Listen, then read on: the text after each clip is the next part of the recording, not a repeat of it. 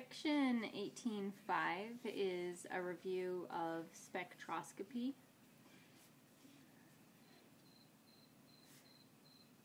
Of the ketones and aldehydes.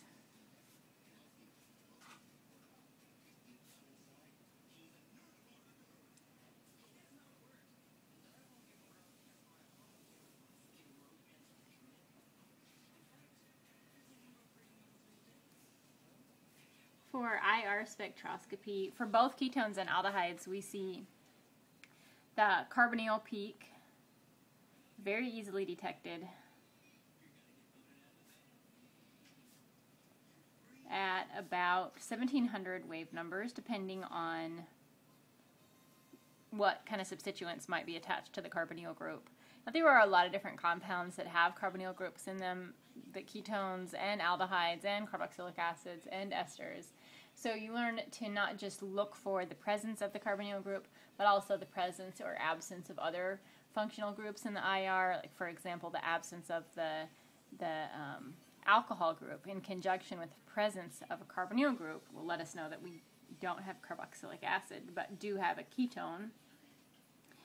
If we have an aldehyde, one of the ways we can distinguish it from a ketone is the peaks that appear around 2700 and 2800 due to the carbon-hydrogen stretching of the carbon, sorry, the hydrogen that's attached directly to the carbonyl group, that bond right there.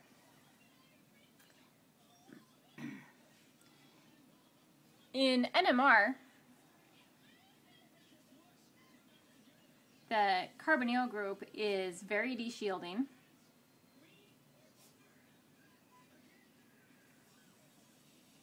And this is going to be the case for both proton and carbon NMR. The closer the carbons or protons are to the carbonyl group, the more deshielding we'll see. So, for example, a compound like this, we're going to see the most deshielding the positions that are alpha to the carbonyl group.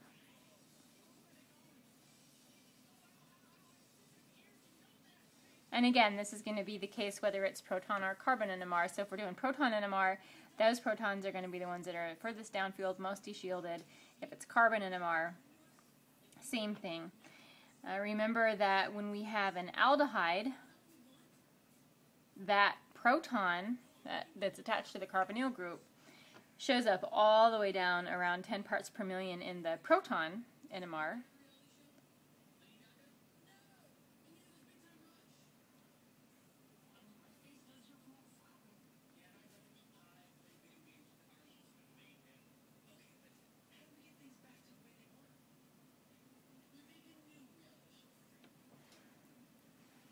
And that's pretty much all we have to say about NMR.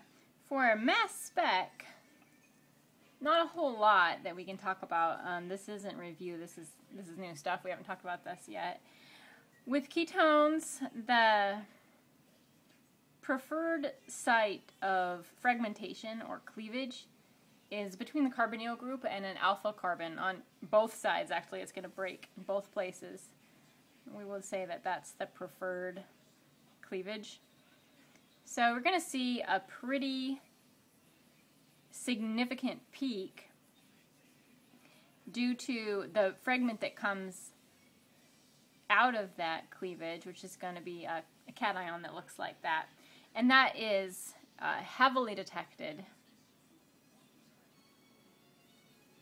If you know that you have a ketone knowing that this is the preferred cleavage can help you deduce the structure if you are trying to use mass spec to figure out what the structure is.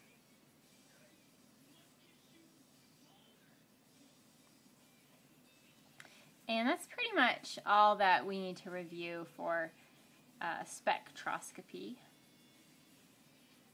I'm not going to do any study questions for that.